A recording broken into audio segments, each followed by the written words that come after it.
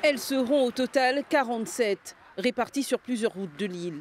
47 silhouettes qui symbolisent les vies ôtées en 2017, des accidents mortels survenus à cause de l'alcool ou de la vitesse. L'opération de sensibilisation est menée auprès des usagers de la route et des futurs conducteurs. C'est pour sensibiliser les automobilistes et pour montrer qu'il y, a eu beaucoup de victimes sur la Réunion.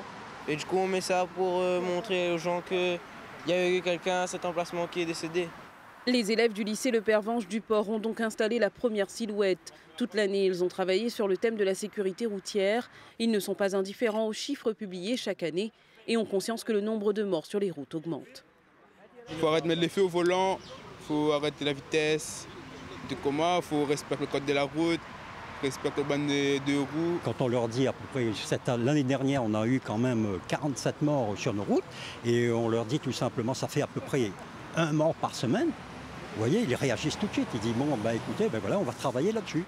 Sensibiliser ces jeunes, oui, mais il faut aussi changer les mentalités sur les dangers de la route, inciter à la prudence et continuer les opérations de ce genre. Aujourd'hui, on a un infléchissement euh, du nombre de morts, mais ce n'est pas assez, euh, ce n'est pas suffisant. Il y a aussi euh, beaucoup de personnes handicapées suite à des accidents graves, donc ce n'est pas encore suffisant.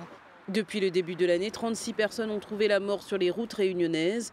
L'an dernier, à la même date, elles étaient 40 victimes.